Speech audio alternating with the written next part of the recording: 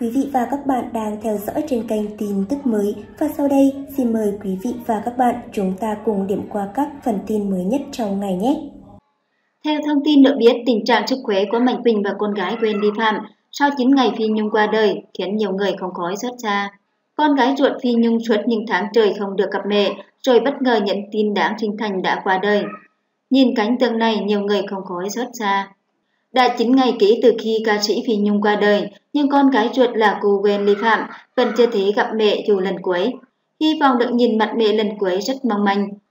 Suốt thời gian qua ở mẹ, Wendy ngày ngày cầu nguyện trục tịch lô hậu sự cho mẹ và chờ mong ngày mẹ trở về. cánh tượng của cô con gái duy nhất ngóng ngóng, từng ngày thông tin về mẹ, cố gắng giữ bình tĩnh để lo chu toàn tang lệ khiến nhiều người không cầm được nước mắt. Mới đây, diễn viên Đức Tiến còn cập nhật tình hình mới nhất về con gái Phi Nhung khiến nhiều người lo lắng. Những ngày qua, rất nhiều người đã đến viếng Phi Nhung và trong loạt ánh mới nhất của Đức Tiến, các đồng nghiệp đã đến thăm cố nghệ sĩ lần cuối.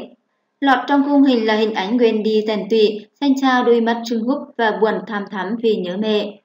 Rất nhiều người cũng đã động viên Wendy mạnh mẽ để vượt qua nỗi mất mát lớn này. Bởi hơn ai hết mọi người hiểu được rằng lúc này con gái Phi Nhung cần được động viên tiếp thêm sức mạnh. Được biết Wendy Phạm là con gái duy nhất của Phi Nhung và người chồng bí ấn.